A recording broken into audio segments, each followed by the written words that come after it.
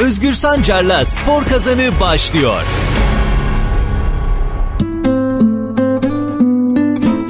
Herkese merhaba. Bugün Kadir Gecesi. Kandiliniz mübarek olsun. Kadir Gecesi mübarek olsun. Değerli dinleyiciler birlikteliğimiz saat 16.30'a kadar devam edecek. Süper Lig'de geride kalan haftayı konuşacağız. Biliyorsunuz açılış maçında Galatasaray Kayseri Spor'la karşılaştı ve tam 6-0'lık bir galibiyet elde etti lider Galatasaray. E, diğer maçta e, cumartesi günü oynanan maçta Kadıköy'de Fenerbahçe Ankara gücünü 2-1 yendi ve, ve haftanın büyük maçında Trabzonspor Beşiktaş'ı ağırlamıştı. İlk yarısı gerçekten çok sönük geçti. İkinci yarıda karşılıklı ataklar vardı ama sahneye çıkan iki kaleci vardı. E, Mert Günok'ta Uğurcan Çakır başarılı kurtarışlar yaptılar ve maçta gol sesi çıkmadı. Bakalım İhsan Derelioğlu Trabzonspor'un teknik direktörü maçtan sonra nasıl bir yorum yapmış? Maç öncesindeki durumu değerlendirdiğimizde e, son haftalarda hem form grafiği yükselen hem de galibiyet serisine devam eden bir rakip karşısında e, bizim de e, tam tersi bir gidişatımız varken çıkış yapmak, gidişatı değiştirmek durumundaydık. Belki e, büyük maç olması, büyük rakiple oynamak, iki büyük takımın oynaması doğal bir konsantre sağlayacağından bir fırsat olabilirdi. Hafta içi e, bütün çalışmalarımızı bunun üzerine yapmıştık. Çünkü e, Trabzonspor futbol takımı kaliteli oyunculardan kurulu. Geçen yılın şampiyonu, bu yıla devreden e, kadrodan kayıplar olsa dahi e, o duyguyu yaşamış oyuncu sayısı fazla. Bu duyguyu e, zaman zaman kaybetmiş olsa da fırsat akşamlarında e, konsantrenin yüksek olduğu yerlerde bir değişimin, bir çıkışın e, olabileceğini düşünüyorduk. E, oyuncu arkadaşlarımız e, çok iyi cevap verdiler. Trabzonspor oyuncusu olduğunu onları kimsenin e, kolay kolay yok sayamayacağını e, Trabzonspor'un bu ligde Türk futbolunda her zaman var olacağını e, ve her zaman kazanan takımlar tarafında olacağını göstermek durumundaydılar. Zannediyorum ki bugün maçı kazanabilirdik. 3 puan alabilirdik. Maçtan ve 3 puandan daha fazla değerler kazandık diye düşünüyorum. Yani oyuncu arkadaşların e, özgüveni kazanmaları, kendi kimliklerini sahaya koymaları, sahada bastıkları yerde iz bırakmaları e, bu sinyalleri verdi bana. Tabii ben Trabzonspor'un e, hocası olarak ya da bunun içinden gelmiş e, minik takımdan başlayan futbolculuk antrenörlük çeşitli kademelerde bulunmuş birisi olarak e, bizim genlerimizde, bizim kültürümüzde kazanmak var. E, kazanamadığınız zaman bizim mutlu olmamız mümkün değil. E, ancak bence bugün farklı bir akşamdı. Ben mutluyum. Yani 3 puan alamamamıza rağmen, genetiğimize aykırı olmasına rağmen e, farklı değerler kazandığımız için mutluyum. Ve bundan sonra Trabzonspor'un e, önüne daha net görebileceğini, önümüzdeki yılın belki planlarını daha e, organize, daha rahat, daha zaman kazanarak yapabileceğini düşünüyorum. E, bu skor, bu oyun, e, bu ortaya çıkan ruh zaman kazanma ve sağduyulu düşünme açısından da Trabzonspor'a önemli bir süre kazandıracaktır diye düşünüyorum. E, Trabzonspor kulübünün gerçekten sağduyuya ihtiyacı var. E, skorlardan bağımsız gelecekle ilgili planların ortaya koyulmasına müsaade edilmesine ihtiyacı var. E, insanlar düşündüklerini, yapmak istediklerini e, herhangi bir baskı altında, stres, stres altında kalmadan plan, proje ve süre içinde yapmalarına müsaade edilmesi gerekiyor. Ee, zannediyorum bu maç e, gelecek için önemli bir ışık olmuştur. Biz görevimizi yapmanın huzur içerisindeyiz. Ama tabi burada asıl olan e, oyuncular. Trabzonspor'un değerleri bunlar. Elinde bulunan da değerler. Bunların tekrar e, değer kazanmaları, kulübün değer kazanması, çok daha önemli. Ve onların e, haftalar e, süren bir düşüşten sonra psikolojik olarak özgüven kazanmaları bundan sonrası için de çok önemli. Onlara teşekkür ediyorum. Kutluyorum. Olması gereken duruşu gösterdiler. Yapılması gereken şeyleri yaptılar.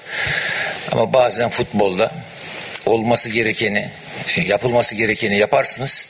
Olması gereken olmayabilir. Bugün de skor eksik kaldı. Ama yine de e, bu mücadeleden dolayı mutlu olduğumu söyleyebilirim.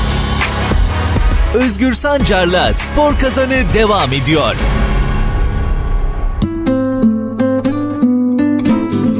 Önce Trabzonspor Teknik Direktörü İhsan Derelioğlu'nun maçla ilgili açıklamalarını yaptık. Oyuncular adına memnunum çünkü ellerinden gelen her şeyi yaptılar dedi ama skora yansımadı bu diyor Sayın Derelioğlu. Bakalım Beşiktaş Teknik Direktörü Şenol Güneş takımı adına maçı nasıl değerlendirmiş?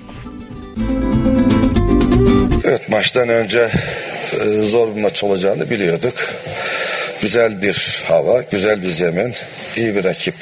Geçen sene şampiyonu Trabzonspor'da oynarken tabii maçın zorlu olması normal. Ama ilk yarı e, bu zorlukları aşacak bir durum olmasına rağmen hazırlık maçı gibi bir maç oynadık. Kazanma arzumuzu sahaya yansıtamadık. Trabzonspor'da biz de ilk yarıyı çöpe attık. İkinci yarı oyun başında Trabzonspor seyirci coşkusuyla biraz daha gelince buna hamle olarak iki kenardaki hızlı oyuncularımızı da kullanmak istedik gitti geldi oyun. Seyirci açısından belki pozisyonları var görünse de bile oyun kalitesi bakımından bizim için iyi bir maç olmadı. E, gol pozisyonu bulduk ama oyun üstünlüğü daha fazla olmalıydı. Bugün onu beceremedik. E, dediğim gibi konsantrasyon, motivasyon düşük olduğu zaman oyuncu kalitesinin de aşağı düşebileceğini gördük. Çarşamba günü oynadığımız maç mı veya beş maç galibiyet sonrası bir durum mu onu tabii değerlendireceğiz. Çünkü daha önce de beş maç seri yaptığımızda Karagümrük maçı da böyle geçmişti. Yani çok rahat işte, yani kazanma isteği var ama sahaya yansıyan bir durum yoktu. Bugün de öyle oldu.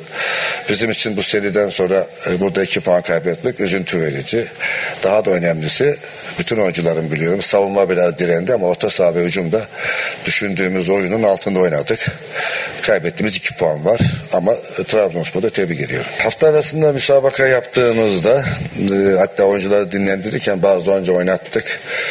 E, bugün e, özellikle son bölümde savunma daha dikkatli, daha savaşçıydı. Orta sahamız ve ilerideki oyuncularımızın etkin olmaması oyunda hamle yapacak oyuncu olarak yani isim olarak da baktığımız zaman Jackson Mulaka ve e, Kevin Ankudu vardı. Onun dışında bir de Tayfur vardı. Tayfur da bu tip hamleleri kullanılabilir ama daha çok savunma yönü daha fazla olan, hücumda şut atabilen, arkaya sizebilecek. Çünkü Trabzonspor geliyordu. Kontraya da olsa böyle pozisyonlara girebileceğimizi düşündük ama bu beklediğimizi alamadık. Yani yanılgıya uğradığımız doğrudur. E, Kevin Ankudu ile ilgili zaten burada e, 4 senede 4. senesi tamamlıyor. Yetenekleri çok fazla. iyi bir oyuncu. Geçen maçta 10 dakika oynadı. 10 dakikasının her dakikası iyiydi. Hem rakiple boğuşurken, gol atmasının dışında rakiple savaşırken, top, top saklayıp pas yaparken de, arkaya koşu yaparken de iyiydi. Ee, böyle böyle bir oyuncu da bu tip maçta oyunun gidişine göre kullanmak istedim. Belki bir 15-20 dakika sonra alsaydım. Da, çünkü bir de Türk oyuncu şansımızı kaybediyorduk. Bir başka oyuncu değişiklik yapmaya çalışsam o zaman da işte e, Salih vardı. Onur vardı, Mert vardı, bir de Alex vardı. Alex alınca 3 oyuncu kaldı. Bu sefer hamle sıkıntısı olacaktı. Onun için değişikliğimiz olumlu olmadı. Yani tabii bunun çok sebebi olabilir. Ee, hafta arasında maçta dikkat dağınıklığı olabilir. İşte yorulan oyuncular dışında mesela orada alternatif diye aldığımız oyuncular olumluydular. Ama bugün hiç kimse olumlu değildi. Yani kendi oyunumuzun altındaydık. Ee, beş maç sonra demek ki bir dinlenmeyi alıyorlar kendilerini. Öyle düşünmek lazım onu. Bilemiyoruz tabii ara veriyorlar. Ee, iyi bir görüntü değil yani oyuncu içinde takım içinde biz istikrarlı biz şampiyon olalım veya olmayalım her müsabakaya çıktığımız zaman seyir zevki fazla olan bütün oyuncular kendi kapasitelerini, kendi kalitelerini, yeteneklerini göstermek durumundalar. Bugün onu tam göremedik. Yani yetenekleri işte şimdi bir defanstakilerde de hatalar var ama özellikle orta saha hücumun çok daha fazla işi yapması gerekiyordu. Baktığın zaman Değerli Fenerbahçe'nin kalecisi İrfan Can Eğri Bayat bir basın toplantısı düzenliyor. Hep birlikte dinliyoruz. Ee, bir an kaldım kendi kendime. Sonra taraftarlarımızla sevindim.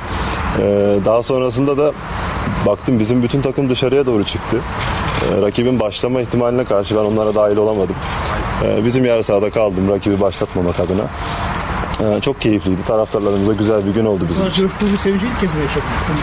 Daha önce yaşadığım tabii ki oldu. Ee, ama en coşkulusu buydu galiba. Doruk Bey. İrfancan hoş geldin. Hoş bulduk abiciğim. Sezonun geri kalanında Altay'ın ve sakatlığıyla beraber kaleyi devralacaksın ve e, Fenerbahçe'nin şampiyonluk iddiası devam ediyor. Her maç çok kritik. Neler düşünüyorsun? Heyecanlı mısın? Bu senin üzerinde bir baskı yaratıyor mu? Neler hissediyorsun? Ee, tabii ki çok heyecanlıyım. Ee, çok büyük bir takımın kalesini koruma fırsatı geldi. Ee, iddiamızda devam ediyor olması benim için bence bir avantaj. Ee, çünkü burada verebileceğim iyi performans, takıma verebileceğim bir katkı e, belki bizi şampiyon yapabilecek. Ee, böyle bir anı bekliyordum. 8,5 ay oldu e, buraya geleli. 8,5 ay boyunca bekledim, hep çalıştım. Ee, çünkü e, kaleciler elbet bir fırsat geliyor. Bana kupa maçlarında geldi ama kaleme çok fazla top gelmemişti. Ee, şimdi tabii ki Altay'ın sakatlanmasını, birkaç cezası yemesini istemeyiz ama e, sakatlanması benim için bir şans. Ee, diğer bütün ikinci kaleciler için olan bir durum. Ee, iyi değerlendirmek istiyorum.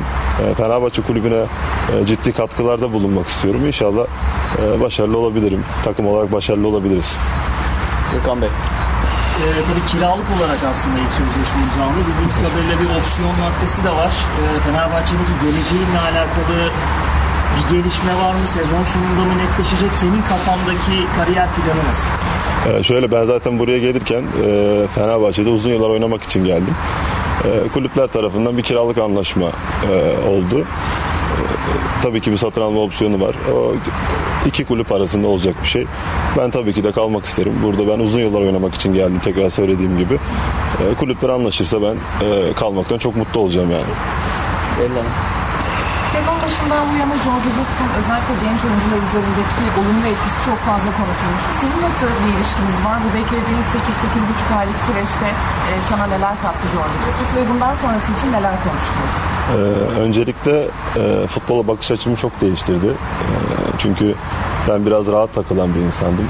Özellikle Göztepe'de e, son iki ay e, takımdan ayrı kalmıştım. E, kamp dönemini çok iyi geçirememiştim. E, kilo almıştım. E, performansımda düşüşler vardı.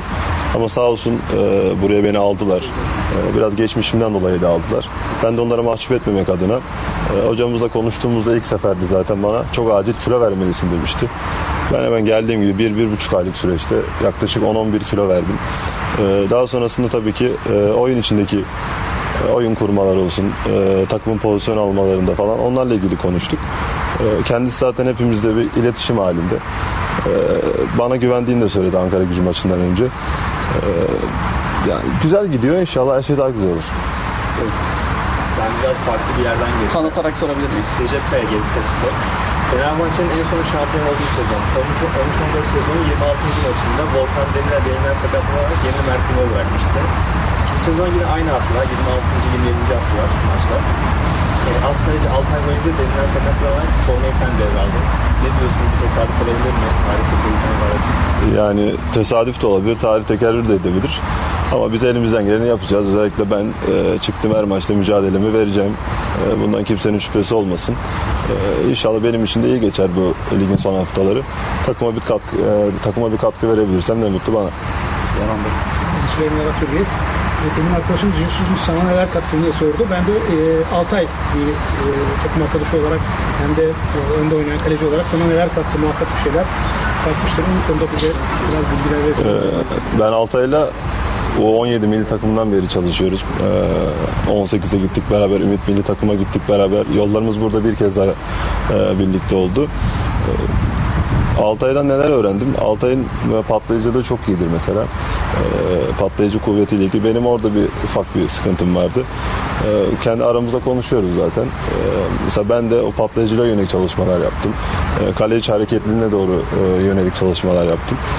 Yani zaten çok da birinci ikinci kaleci arasında böyle ne birbirlerine bir şey öğretme gibi bir şey olmazdı ama sohbet arasında bunları konuştuk. Ee, Altay da çok değerli bir kaleci ülkemiz adına, e, kulübümüz adına. Ben de inşallah onun gibi bu fırsatı iyi değerlendirebilirim. Gürkan Bey. Tabii şampiyonluk yarışı da e, haftalar azaldıkça iyice kızışıyor. 6 puanlık bir fark var şu anda. E, Jesus'un bir ifadesi olmuştu. Taraftarlar bizim kadar inanmıyor şeklinde. Sen bize biraz o takımın içindeki havayı anlatır mısın? Şampiyonluğa ne kadar inanıyorsun? Yani biz e, takım olarak hayallerimiz var. E, bunu kendi aramızda çok fazla konuşuyoruz. E, ve yabancı Türk ayrımı da yok. Yani ben gidip bir yabancıyla da bu olayları konuşabiliyorum. E, biz takım olarak çok fazla inanıyoruz. Hocamız bizden de fazla inanıyor. E, bizim e, taraftarlarımızdan beklentimiz bizim kadar inanmaları. E, biz e, bundan sonra kalan maçları kazanabilirsek e, rakibimizin elbet puan kaybedeceğini düşünüyoruz. Ve bizim şöyle de bir avantajımız var. E, hem Ziraat Türkiye Kupası hem ligde şampiyonluk şansımız var. Yani bu sezonu iki kupayla bitirebiliriz. Bu da bizim için çok çok büyük bir avantaj. İnşallah iki kupayı da alabiliriz. Biz inanıyoruz yani takım olarak. Ahmet Bey.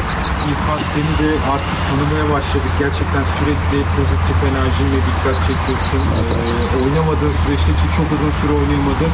Yine e, takım içerisinde e, bu arkadaşın içerisinde gördük seni. Sen bu süreci nasıl geçirdin onu da sormak isterim ve takım içindeki rolün hakkında da neler söylemek istersin? Ee, ben buraya geldiğimde zaten yedek kaleci olarak geldiğimi biliyordum. Ee, Altay 4 sezon boyunca burada e, çok iyi sezonlar geçirdi, çok iyi maçlar oynadı. Ee, ben buraya takıma katkı vermek için geldim. İşte fırsat gelirse çıkıp oynamak için, kulübedeysem kulübeden destek vermek için. Eğer hocamız kulübeye de almayıp beni tribüne gönderirse tribünden de destek veriyorum. Ee, takımdaki arkadaşlık ortamı da çok iyi. Hemen beni de aralarına aldılar sağ olsunlar. Ee, yani e, bu kulüpte oynayıp oynamamak çok önemli değil. Burada yedek kalmak da e, çok büyük bir şereftir benim için. E, ben o yüzden hiçbir zaman neden oynamıyorum, neden bana hiç fırsat gelmedi tarzında hiçbir düşünce yapısına girmedim. Her zaman takıma destek olmaya çalıştım. E, bu de, e, destek olduğum sürece de zaten bu benim hayatıma da çok fazla yansıdı. E, şimdi de fırsat geldi bakalım inşallah iyi değerlendirebilirim. Son soruyu alıyorum. İrfan, e, zor bir sezon. Dünya Kupası öncesi liderdi Fenerbahçe. Sonrasında bir düşüş oldu. E, derbi kazandı Fenerbahçe. Son 6 puan geride ama çok maç var. Eğer bu sezonu şampiyon tamamlarsanız anlamı ne olacak sizler için? Ya anlamı zaten e, çok çok büyük olacak bizim için çünkü e, benim de ilk şampiyonum olacak takımdaki çoğu oyuncunun da ilk şampiyonluğu olacak. E, biz se- sezon başında başladığımızda yani ben ilk geldiğim zamanlarda 3 kulvarda da şampiyonluk hedefliyorduk. Tabii ki bazen işler yolunda gitmeyebiliyor. E, UEFA'dan şanssız bir şekilde elendik. E, ama iddiamızın devam ediyor olması bizim için çok büyük bir avantaj. E, rakibimiz çok e, bir seri yakaladı. Biz o yüzden biraz böyle geride kalmış gibi olduk ama e, kalan süreçte bu 7 maç kaldı bizim ligde. E, 7 dedi yaparsak rakibimizin ben puan kaybedeceğini düşünüyorum. Ve e, ligin son maçı da rakibimizle e, belki e, onları orada yenip orada bir şampiyonluk kutlayabiliriz. E, bu da bizim hayallerimiz içerisinde olan bir durum. Teşekkür ederim. arkadaşlar. İrfan Can Eğribayat son maçta Altay'ın sakatlığından dolayı değerli dinleyiciler kaleyi devralmıştı. Başarılı kurtarışlar yaptı. Daha doğrusu başarılı bir maç çıkardığından bahsedebiliriz İrfan Can Eğribayat'ın. Bundan sonraki performansları çok önemli. Kendisinin de söylediği gibi süreklilik büyük bir önem arz ediyor. Fenerbahçe sakatlığı bulunan Altay Bayındır için bir açıklama yaptı ve Altay'ın bir operasyon geçireceğini söyledi. Açıklamada oyuncunun ameliyat edileceği belirtiliyor. Ankara gücü maçında görev alamadı Altay Bayındır çünkü belinde bir problem var ve şu açıklamayı yaptı. Fenerbahçe sağlık heyeti kaptan Altay Bayındır'ın bir süredir şikayetçi olduğu bel fıtığı rahatsızlığı ve son dönemde artan ağrıları sebebiyle bugün yapılan kontrollerin ardından operasyon geçirmesine karar verilmiştir. Sonrasında gerekli bilgilendirmeler kulüp tarafından yapılacaktır. Demek ki böyle bir operasyon olduğuna göre Altay'ın sezonu kapattığını söyleyebiliriz. Kaleyi İrfan Can Eğribayat devraldı. Sezon sonuna kadar eğer bir aksilik yaşanmazsa e, sarı kart cezası, kart cezası, sakatlık yaşanmazsa onunla devam edilecek. Avrupa'dan futbol. İspanya. Joan Laporta UEFA'nın soruşturmaya dahil olduğu Negreira davası hakkında konuştu. Barcelona başkanı sert açıklamalar yaptı. Açıklamaların hedefinde ise Real Madrid kulübü vardı. Real Madrid'in davaya dahil olmasını şaşkınlıkla karşıladığını belirtti Laporta. Laporta yaptığı açıklamada Barcelona devasa bir itibar zedelenme, itibar zedeleme kampanyasına maruz kalıyor. Negreira davası ile ilgili haberler çıktığında bazı medya kuruluşlarından imajımızı zedeleyecek tepkiler geldi. Bu bir tesadüf değil. Dünyaya rol model olmamızı engellemek istediler ama hiçbir zaman başaramadılar. Bundan sonra da başaramayacaklar. 125 yıllık tarihimize saha içinde ve dışında her zaman adil olduk. Bu nedenle kendimizde gurur duyuyoruz ifadelerini kullandı. Ayrıca Real Madrid'in davayı körüklemeye çalışmasını vurgulayan Laporta, hukuki tartışmaya girmek isteyen bir kulüp var. Real Madrid'den bahsediyorum. Tarihsel olarak ve bugün hala hakem kararları açısından ayrıcalıklı bir kulüp. Real Madrid gibi bir kulübün bu davaya dahil olması ve saldırıya uğramış gibi hissediyoruz demesi bir şaka olmalı. 70 yıldır hakemleri atayan herkes Real Madrid'in eski üyeleri, eski oyuncuları, eski yöneticileri açıklamasını yaptı. Yani Real Madrid 70 yıldır bu yani tam 10 17 tane 10 e, yıllık süreç içerisinde dekadanstan bahsetti. Dekadans her bir 10 yıl için kullanılan bir ifade. Laporta e, bu süre içerisinde Real Madrid'in hakemleri atadığını iddia ediyor. Negreira'nın maçlarını etkilemediğini vurgulayan başkan, Barça 18 yıl boyunca teknik raporlara para ödedi. Bu raporların yapılması zorunludur. Sektördeki yetkin kişiler tarafından yapılmıştır. Soruşturmada 623 rapor, 43 video raporu bulundu ve bunlar sadece 2014-2018'den kaynaklanıyor. Negreira maçlarımızı etkilemedi diye konuştu. Eski Hakem Birliği Genel Sekreteri Negreira'dan bahsediliyor. Onun Barcelona'dan para aldığı ve Barcelona'nın maçlarına e, bilinçli atamalar yaptığı iddia edilmişti.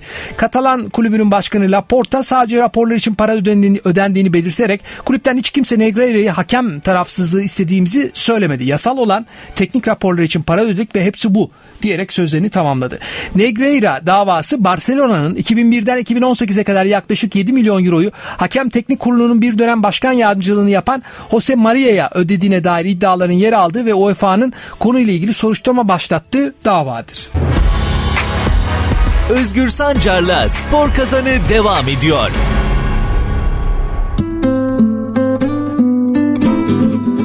Az önce Laporta'nın açıklamalarını paylaştım değerli dinleyiciler. Sizlerle Laporta'da Real Madrid'i suçluyor. Bu Negreira skandalı yani hakemlere para yedirmekle ilgili olan skandal e, iki kulübün, iki büyük kulübün Real Madrid ile Barcelona'nın karşılıklı suçlamaları çerçevesinde ilerliyor. UEFA da dahil oldu bu sürece. Barcelona'nın savunması net. Biz sadece teknik planlar, raporlar için para ödedik. Onun dışında hiç kimseyi satın almadık diyorlar. Trabzonspor için Türkiye'ye geliyor. Kim geliyor? Bir teknik direktör değerli dinleyiciler. Trabzonspor'un teknik direktör arayışları devam ediyor. Teknik direktör arayışındaki Trabzonspor'da Nenaş Bejelika La menajerler aracılığı yapılan görüşmede önemli mesafe kat edildi. Trabzonspor yönetimin prensip anlaşmasına vardığı Hırvat teknik adam yüz yüze görüşmek üzere Türkiye'ye davet edildi. Bordo Maviler son detaylarda anlaşma sağlaması durumunda Bejelika ile sözleşme imzalayacak. Trabzonspor'da ve Beşiktaş'ta futbolcunun da başarıyla forma giydi. Teknik direktör Orhan Kaynak bizimle birlikte. Hocam hoş geldiniz. Merhaba hoş bulduk iyi yayınlar Özgür. Hayırlı kandiller hocam. Kandiller sağ ol. Sağ olun. Nasılsınız hocam? İzlediniz mi dün akşamki maçı? İkinci yarısını izledim. Bölüm bölüm e, izlemeye çalıştım. İlk yarısı zaten çok zevksizdi hocam. İlk yarısı iki takım adına çok kötüydü. İlk Kaçırmamışsınız bir şey. e, bölüm bölüm izledim. Çok sıkıcıydı evet, evet, e, izleyici açısından. Ama e, taktik açısından istediklerini aldılar. E, kontrataktan çabuk hızlı hücum şansa bir gol buluruz mu diye ama ikisinin de aslında galibiyete ihtiyacı vardı. Yani beraberlik iki takımı da yaramıyordu.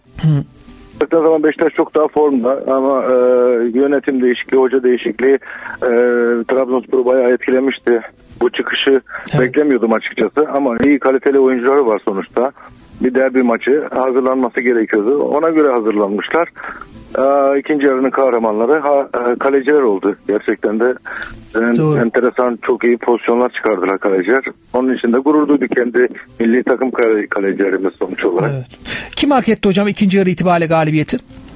İkisi de hak etmişti yani ikisi de e, çok iyi e, pozisyonlar çıkardı dediğim gibi kaleci.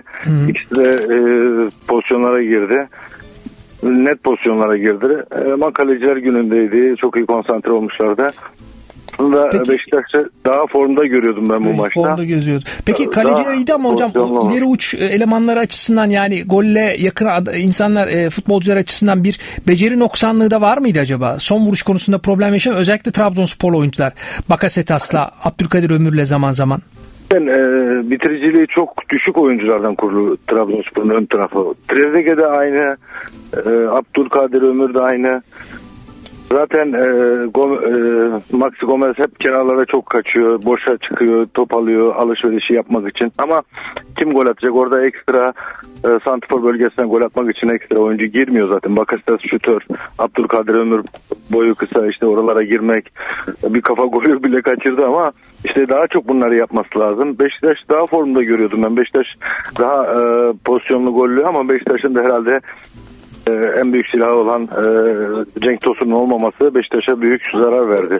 Hem oyuncu liderliği var hem de takım üzerinde bir etkisi var e, Cenk'in. Daha üretici, daha üretken bir oyuncu. Onlardan yoksundu. Evet. Hocam e, Trabzonspor'un teknik direktör arayışı var. Bir Hırvat e, teknik direktör Bejelikan'ın Trabzon'a davet edildiğinden bahsediyor ya da İstanbul'da bir görüşme yapılacak bilemiyorum. Ben şunu sormak istiyorum size. E, Trabzonspor'un bu dönem içerisinde çalışması gereken teknik direktör profili nedir? Kimdir sizce? Ya, Önümüzdeki senenin e, sonuçta planlamasını yapacak. e, Şimdiden anlaşmak lazım. E, Hocanın isteği doğrultusunda. Bence hocanın isteği tamam evet %20 %30 olabilir ama bence kulüplerin kulüp olup her şeyi kendileri yapması lazım. Transferde çünkü hocaya bıraktığınız zaman hoca hadi 3 maç galip mağlup olduğu zaman hocayı tutamıyorsunuz ki veya 5 maç neyse. Ve gönderdiğiniz zaman sorumlusu kim kalıyor? Hoca çekip gidiyor. Ama e, sorumlusu sen oluyorsun yani kulüp olarak başkan oluyorsun yönetim oluyorsun. O yüzden her şeyi bırakmamak lazım. Kendi arşiviniz olması lazım. Kulübünüzün e, oyun tarzını oyuncu tarzını belirlemeniz lazım. Bunun için bir arşiviniz orada kalıcı bir e, üç şey kulüp içerisinde bir o, Hafıza bu oluşturmak bakın lazım. evet organ olması lazım. Yani. varsa da işte iş- işlemiyor. Yani bu hem e, sadece Trabzon üzerinde değil, bütün kulüpler için geçerli. Trabzon biraz daha altyapıya yönelecektir biraz daha ekonomiyi düşürecektir. Ama yine de şampiyonluğa oynayacak bir kadro kuracaktır çünkü Ertuğrul Doğan da önemli bir iş adamı, e, önemli bir yönetici. E, uzun yıllar Ahmet Ağaoğlu ile beraber çalıştı. Bu çok büyük katkılar yaptı. Onu da hak ediyordu. Umarım istediği şeyleri yapar, gerçekleştirir. Şampiyonla oynayacak bir takım kadro oluşturur. Peki. Hocam çok teşekkür ederim katıldığınız için. Eksik olmayın. Teşekkür ederim. İyi yayınlar. İyi çalışmalar. Kolay gelsin. Orhan Kaynak Trabzonspor bölümümüzde bizimle birlikteydi. Beşiktaş bölümümüzde ise Sayın Süleyman Oktay bizi bekliyor. Süleyman abi hoş geldiniz. Merhaba. Hoş bulduk Özgürcüm. İyi yayınlar, iyi haftalar diliyorum. İyi haftalar dilerim ben de kolay gelsin size. Nasıl başladı hafta sizin için? Valla e, nasıl başladı? E, benim bahçenin duvarı yıkılmıştı. Öyle mi? Çok geçmiş olsun. du sağ ol. Duvarını, duvarını ustalar geldi. Duvarını yaptırıyoruz. E, bu hafta öyle başladı. Yani biraz şanssız başladı. Evet. Olsun sağlık olsun. Vardır bunda da bir hayır. Hayır evet öyle diyelim Özgürcüm. Ön bölgede Redmond, e, Maxim, Raşit Gezzal ve Santfor'da Abu Bakar'la başladı. Cenk Tosun e, biliyorsunuz e, sakat e, ve sarı kart cezalısıydı. Hadzi Ahmet Avuç e, Konya Spor'dan alınan oyuncu. Getson Fernandez 11'deydi. Son maçta e, Cenk sakatlandığı için sonradan oyuna girmişti Jetson Fernandez. Ben etkili buldum Jetson Fernandez'i bilmiyorum. Ön bölge kurgusu nasıldı Beşiktaş'ın? Nasıl buldunuz Beşiktaş'ı dün akşam? Ya tabii şimdi Beşiktaş'ı dün akşam e, bir defa e, hiçbirimiz iyi bulmadık. O, o da bir gerçek yani. E, Beşiktaş'tan daha fazla beklentilerimiz vardı.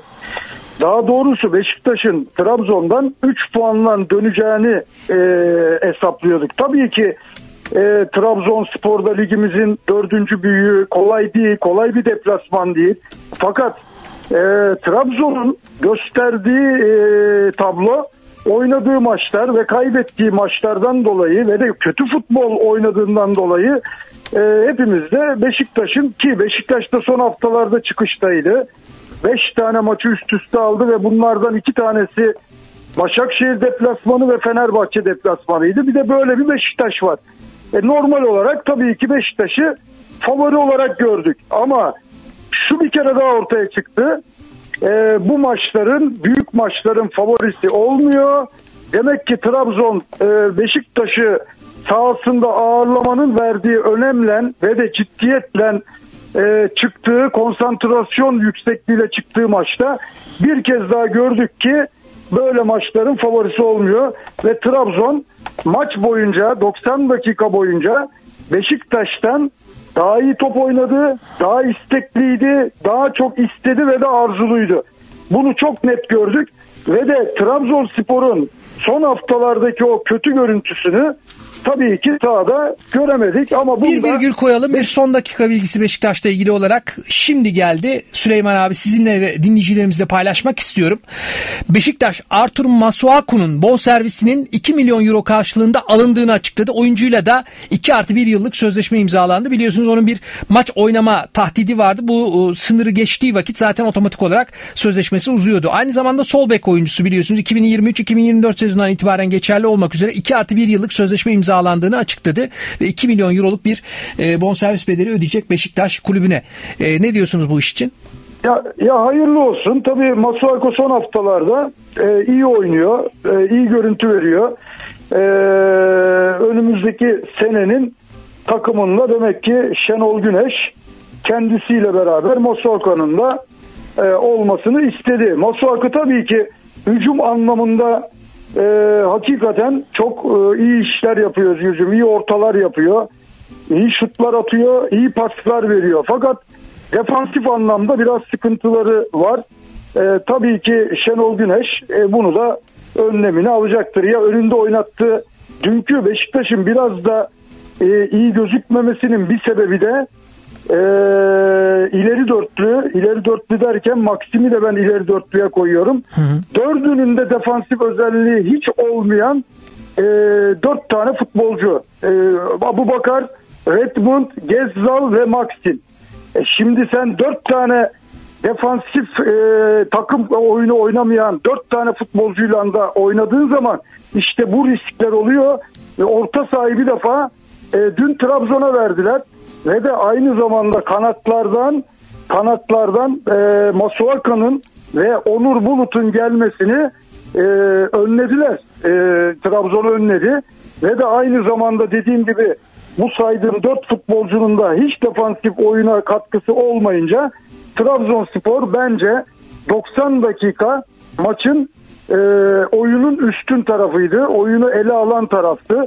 Ve de zaten e, birinci yarıyı e, herkesin de gördüğü gibi dediği gibi e, futbol namına hiçbir şey olmayan bir birinci yarıydı. Ama ikinci yarıda özellikle 60-65. dakikadan sonra Trabzon kendi sahasının ve de e, büyüklüğünü hatırlamasından dolayı da hırs, hırslı oyunuyla Beşiktaş'a ne kadar zorluk çıkardığını hepimiz e, çok net gördük. Yani e, Trabzon 65. dakikadan itibaren çok hırslıydı, çok e, maçı istedi, galibiyeti istedi. Ama Beşiktaş'ta bu reaksiyonu e, 90 dakika boyunca maalesef göremedik yani. E, burada tabii Mert'e bir parantez açmak lazım Özgürcüm. Yani hakikaten e, işte Şenol Hoca'nın dokunuşları dediğimiz zaman Mert de Şenol Hoca'nın dokunuşlarından biri oldu. %100. E, biliyorsun Şenol Güneş gelince Mert'i kaleye koydu. %100 evet. Getson Fernandes'i oynattı. Bir de Cenk Tosun'u oynattı. Bu üçü de o Şenol Hoca'dan sonra çok başarılı oldular. Dünkü yine maçın en başarılı futbolcusu kaleci Mert'ti. %100. E, çok önemli kurtarışlar yaptı. E, tabii ki bunun karşılığında Uğurcan da e, iki tane yüzde yüz hakikaten çok önemli kurtarış yaptı ama Mert çok daha fazla e, kalesini korudu. Trabzonspor'un çünkü çok daha fazla etkili atakları vardı, etkili pozisyonları vardı e, ve de o bunalttıkları, baskı kurdukları dakikalarda da e, işte e, kalenin içinden çıkan toplar, Mert'in kurtardıkları yani Beşiktaş'ın e, maça hazır olmadığını o dakikalarda da çok net, net şekilde gördük. Halbuki biz hepimiz Beşiktaş'ın e, ve de aslında Beşiktaşlılar bunu konuşmaya da başlamışlardı.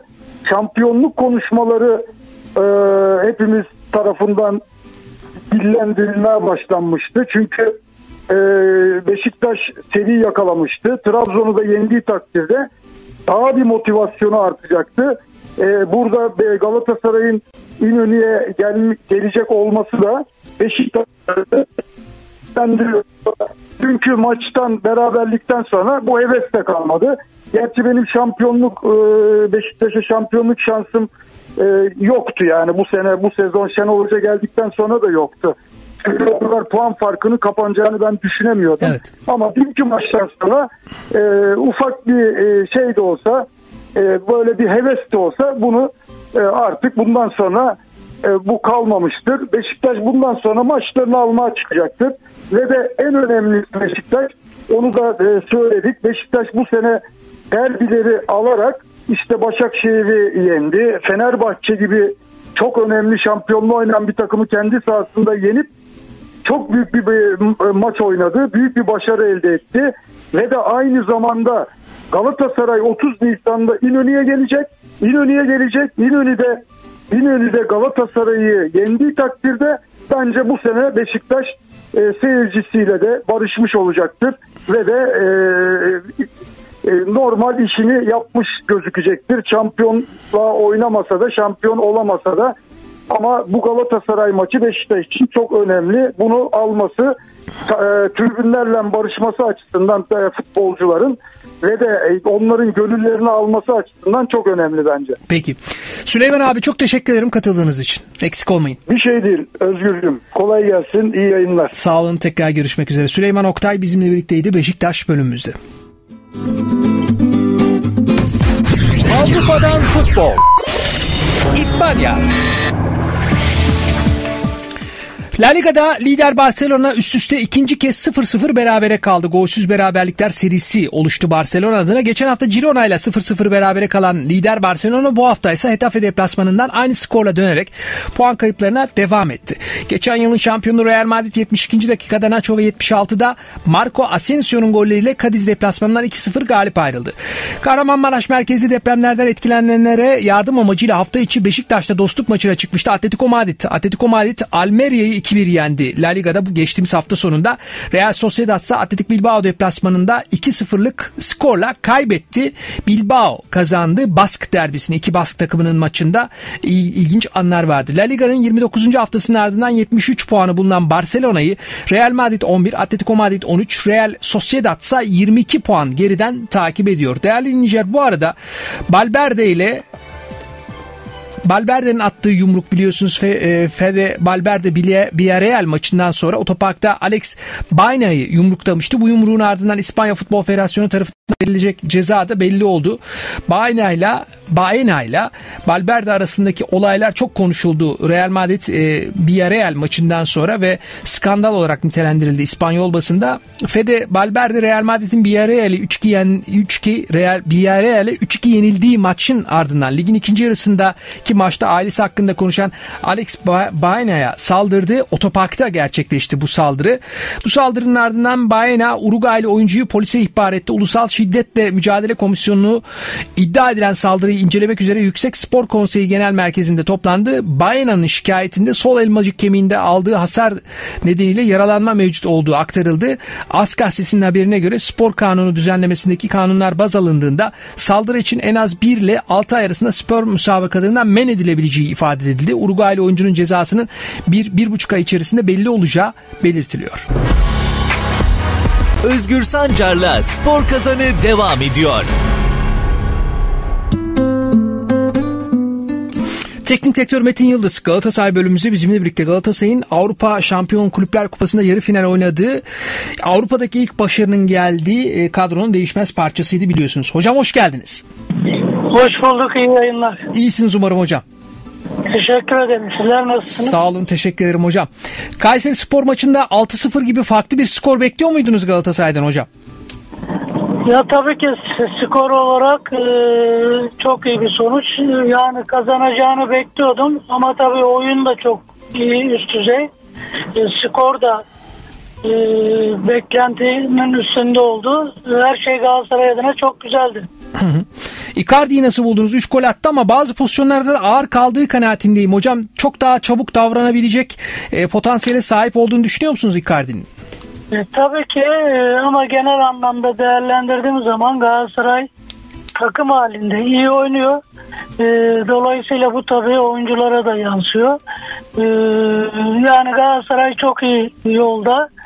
E, iyi futbol oynuyor. Şu anda Türkiye'de hemen hemen e, bütün takımlar içerisindeki en iyi performansı gösteren takım görüntüsünde. Bu da lig sonuna kadar böyle devam eder diye düşünüyorum. Ben de onu soracaktım. Fenerbahçe'nin Galatasaray'ın puan kaybetmesini beklediğini biliyoruz doğal olarak ve e, puan kaybedeceğine inanıyor Fenerbahçeliler Galatasaray'ın. Siz nasıl değerlendiriyorsunuz? Puan kayıpları olur mu Galatasaray adına?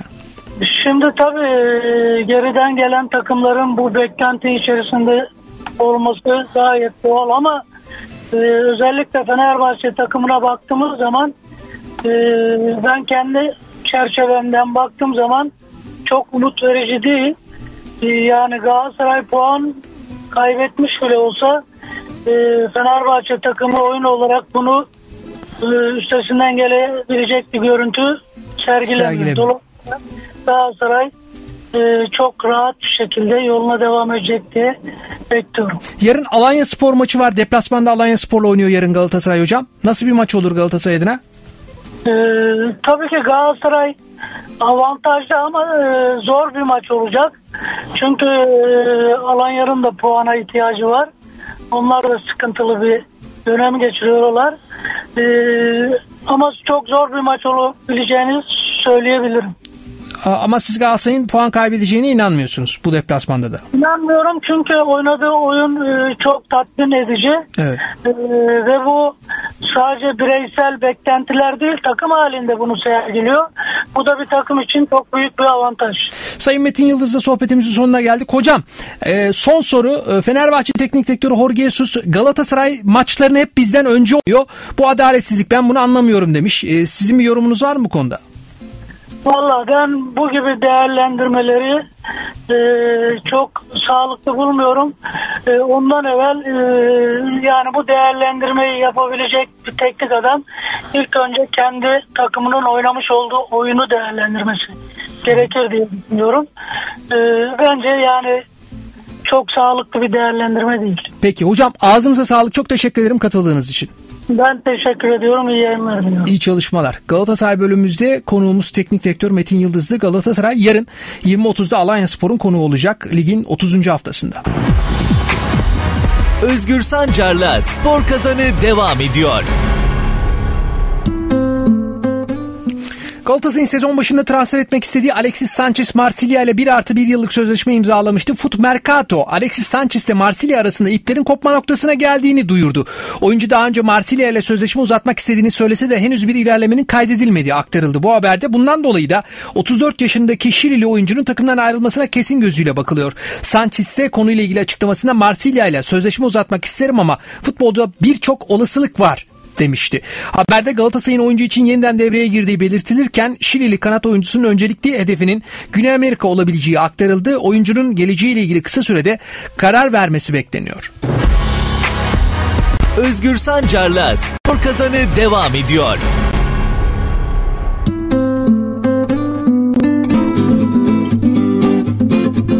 Değerli dinleyiciler bir son dakika bilgisi. Trabzonspor Nenat Bejelika ile anlaştı. Hırvat teknik adamın bu akşam saat 23.40'da İstanbul'da olması bekleniyor. Yarın da sözleşmeyle ilgili detaylar e, zaten protokol altına alınmıştı. Bunlar resmileştirilecek ve Trabzonspor yeni teknik direktörünü bütün kamuoyuna açıklayacak. Kamuoyunu aydınlatma platformuna da yazı gönderip kamuoyuyla paylaşacak. Hırvat teknik direktörle Trabzonspor'un bir buçuk yıllık anlaşma yaptı. İlk gelen bilgiler arasında ama bu teyide muhtaç. Yüzde yüz böyle olduğunu söyleyemeyiz. Sadece iddialar bu şekilde. Kesin olan şey ise e, teknik adamın bu akşam İstanbul'da olacak olması. Gece yarısı itibariyle İstanbul'a inmesi bekleniyor. E, Nenat Bejelika'nın değerli dinleyiciler. Bakalım e, Trabzonspor e, bu konuyla ilgili hangi detayları aktaracak? Trabzonspor'la ilgili bağlantılarımız olacak. E, Trabzonspor'da bu konuyla son dakika gelişmesiyle ilgili telefon bağlantısı yaparak e, detayları sizlerle paylaşacağız. Bu arada bir kez daha hatırlatalım. Beşiktaş'ın da kamuoyuna aydınlatma platformuna bir e, bildirimi vardı. Bu bildirimde Masuaku'nun e, sözleşmesi sözleşmesinin uzadığı yeni sözleşme yapıldığı Masuaku ile bildiriliyor. Oyuncuyla 2 artı 1 yıllık sözleşme imzalandı deniyor. Beşiktaş kulübü kiralık olarak forma giyen Demokratik Kongolu futbolcu Artur Masuaku'nun bonservisinin 2 milyon avro bedelle alındığını açıkladı. Siyah beyazlı kulüpten yapılan açıklamada transfer sürecinin tamamlandığı da belirtiliyor. West Ham United kulübünde oynuyordu biliyorsunuz Masuaku. 2022-2023 sezonunun birinci transfer tescil döneminde bir yıllığına geçici transferi gerçekleşmiş olan profesyonel futbolcu Fuka Artur Masuaku'nun transfer hakları kulübümüz tarafından 2 milyon euro karşılığında satın alınmıştır. Oyuncuyla da 2023-2024 sezonundan itibaren geçerli olacak 2 artı 1 yıllık sözleşme üzerinde anlaşılmıştır deniyor. Böyle son dakika bilgileri var. Ve Fenerbahçe'ye sert otel tepkisi deniyor. Kayseri Spor basın sözcüsü e, Samet Koç Fenerbahçe'nin yaptığı otel paylaşımı sonrasında sert açıklamalarda bulunarak maç satma cümlesinin kurulması bile çok ayıp kendilerine yakıştıramadık açıklamasını yapıyor. Biliyorsunuz Dursun Özbey'in sahip olduğu otelde konaklamıştı Galatasaray'ın geçtiğimiz hafta rakibi olan Kayseri Spor. Bu da speküle edilmişti. Bunun üzerine yapılan açıklamalar ya da yapılan spekülasyonlar ki Fenerbahçe yönetim tarafından da bir açıklama yapılmıştı. Buna tepki olarak bu sözleri söylemiş Kayseri Spor basın sözcüsü Samet Koç. Biz de Cuma günkü programımızda bunun ayrıntılarını işlemiştik. Karadeniz Gazetesi'nin spor direktörü sevgili Nihat Erence bizimle birlikte Karadeniz Gazetesi'nde bir son dakika bilgisi olarak geçti. Trabzonspor Nenat Bejelika ile anlaştı. Nihat abi hoş geldiniz. Teşekkürler Özgür, iyi yayınlar diliyorum. Ben de iyi Ee, çalışmalar dilerim. Kolay Şimdi gelsin. Orada hemen şöyle başlayalım. O e, Nenat Bejelika dedim değil mi? Doğru bir telaffuzu. Çünkü çok çeşitli telaffuzlar yapılıyor. Kimi Bielsa diye telaffuz ediyor. Ama senin e, telaffuzun bence en Yo, doğrusu. hayır Bielsa da olabilir. Hırvatça e, ya daha doğrusu Yani- Sırpça bu. Sırpça yani Sırpça, Bosna'da bravo, e, bravo. Bosna'da Hırvatistan'da konuşulan değil Sırpça. Oradan başlayalım Sırbistan. istersen. Yani Bejelika diye de ta- telaffuz ediliyor olabilir. Hı hı. Ee, şimdi e, sen istersen hemen e, sorularına Oldu mu başla, anlaşma yapıldı sana- mı Bielsa ile? Ya şöyle bir buçuk yıllık anlaşma sağlandı. Bu akşam 23.40 gibi İstanbul'da olacak. Ee, akşamı e, İstanbul'da geçirecek. Yarın sabahleyin Ertuğrul Doğan'ın İstanbul'daki ofisiyle bir araya gelecekler. Ee, iki tane yardımcısı var. Yardımcılarıyla beraber geliyor. Onların isimleri de e, Nina Bull ve e, Yasmin Osmanovic. iki yardımcısıyla beraber. Yani üçlü bir imza olacak yarın. Ee, büyük bir aksilik olmazsa tabii ki hani geleceği saatleri falan söylüyoruz. İnşallah hani bir e, araz olmaz, yolda bir sıkıntı olmaz, uçakta bir problem olmaz ise 23.40 İstanbul'dalar. Ee, akşam kalıyorlar İstanbul'da. Ertesi gün Ertuğrul Doğan'la buluşup araya geliyorlar. Ee, hem Nenat Diyesa hem de iki yardımcısı imzayı atıp e, öğleden sonra da Trabzon'a gelecekler. Yani biz öğleden sonra bekliyoruz onları buraya. Şu anki e, gelişmeler bu yönde. Kaç yıllık anlaşma sağlanmış Hırvat teknik direktörle? Yarım sezonu bu sezon sayacağız. Bir, buçuk yıllık. Bir buçuk yıllık. İşte Bielsa'nın özelliklerini e, muhtemelen e, sen de takip ediyorsundur. Hani Dinamo Zagreb'de çok önemli başarıları vardı. Hatta biz Fenerbahçe maçından hatırlarız onu. O 2018'de bir maç oynamışlardı. Dört türü yendiler ki ondan sonra da adı Fenerbahçe ile anılmıştı hatırlarsın. Ama olmadı. E, Fenerbahçe farklı hoca e, arayışlarına girdi. Bielsan yani en önemli başarısını e, Zagreb'de yaşamış. E, ben bugün e, onunla ilgili biraz böyle Balkan futbolunu bilen teknik direktörlerle de konuştum. Yani hani e, nasıl bir oyun sistemi nedir? Trabzonspor'a ne kadar uyar? E, söyledikleri ana ortak nokta şu e, Özgür. Yani kendi yapısı çok sakin ama e, oyun içindeki yani oyun karakteri daha böyle agresif. E, işte sistem olarak e, 4-2-3-1 öyle sistemi seven özellikle savunmanın önüne, önünde oynattığı yani hani bizim o 6 numaralar 8 numaralar dediğimiz oyuncuların bir tanesine böyle 8-10 özellikli istiyor. E, Kanatta oynayacak oyuncuların hareketli ve adam geçme özelliği, iyi orta yapmaların isteyen bir yapısı var. Yok Ee, yok yani hepsini istiyor. Daha ne istesin? yani evet isteyen bir yapısı var evet. E, pi- pivot santfor ama hareketli pivot. Santfor yani böyle bilgileri de aldım. Tabii ki bizim için aslında böyle inşallah burada başarır onu. Tabii ki bu resmi imzalardan sonra bunları daha konuşacağız. Özgür e, genç oyuncuları parlatmasıyla çok da tanınmış. İşte mesela yanlış isimler söylemeyeyim. Onunla ilgili haber yapmıştım. Onu da sende paylaşmamda bir e, sakınca yok. E, mesela Dani Olmo, Lauro Mayer, e, Mislav Orsic yani bunun e, işte Dinamo Zagreb'i çalıştırdığında evet. e, altyapıdan aşağıdan çıkarıp e, bu Avrupa futboluna kazandırdığı isimler. İşte mesela Peki. Olmo biliyorsun Leipzig'te oynuyor. İşte yine e, Laura Mayer Ren'de oynuyor. E, yine e, Mislav Orsic Southampton'da oynuyor. Yani hep bunlar e, şeyi işte bizim sevineceğimiz konu şu altyapı bizde çok iyi. Evet. Umarız bu altyapıdaki oyuncuları yukarı çıkarır. En az 3-4 tane oyuncuyu gene e, bir buçuk yıllık anlaşma yapıldı değil mi? Bir, bir buçuk yıl. yıllık anlaşma yapıldı. Bielsa ya da Bejelik bakalım. Kendisi telaffuzu sorulduğunda nasıl bir yanıt verecek? Mutlaka Nihat abi onu soracağım. çok teşekkür ederim katıldığınız için. Sağ ben de, e, ben de size kolaylıklar diliyorum. İyi yayınlar olsun. Sağ olun. Karadeniz Gazetesi Spor Direktörü Nihat Erenci son bilgiyi aktardı. Nenat Bejelika Trabzonspor'un yeni teknik direktörü bir buçuk yıllık anlaşma imzalandı. Bu gece İstanbul'da olacak Hırvat teknik direktör. Sevgili Zafer Büyükavcı Fanatik Gazetesi'nin genel yayın koordinatörü bizimle birlikte Fenerbahçe'yi konuşacağız. Hoş geldiniz. Merhabalar Özgür, iyi yayınlar. İyi haftalar dilerim. Nasıl başladı hafta sizin için? Valla hafta sonları bizim için yorucu biliyorsunuz. Yorucu tabii. Hafta içi biraz dinlenmece gibi geçecek. Bu ama hafta bu olmaz ama. maçlar var. Doğru. bu hafta olmaz. Yarından itibaren maçlar var. Hakemler belli olmuş bu arada. Alanya Spor, Galatasaray, Abdülkadir Bitigen, e, Medipol, Başakşehir, Fenerbahçe, Suat Arslanboğa, Sivas Spor, Trabzonspor, Bahattin Şimşek. Hakemler belli olmuş. E, tabii hakem tartışması çok yapılıyor. Hakem kararlarıyla ilgili tartışma çok yapılıyor. Bunun yanı sıra e, Jorge Jesus'un bir şikayeti var e, sevgili Zafer Büyükavcı. Biz niçin maçlarımızı Galatasaray'dan sonra oynamak zorundayız diyor. Ne diyorsunuz bu şikayetle ilgili?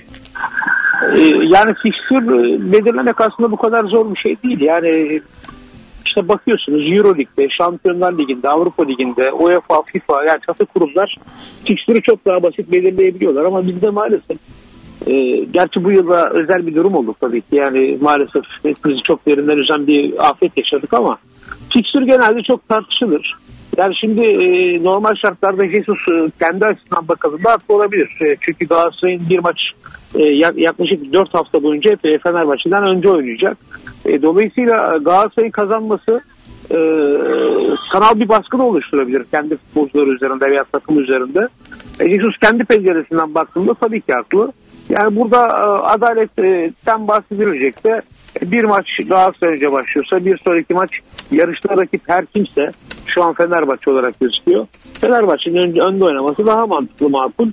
E, bu aslında çok zor bir şey değil yapılabilir bir şey ama bizde nedense çok basit şeyleri yapamıyoruz ve böyle suni gündemler oluşuyor maalesef. E, bence daha dikkat edilebilirse çok rahatla çözülebilecek bir problem tabii. Ankara gücü maçının hakeminin tehdit edildiği iddiaları var Atilla Karaoğlan'ın.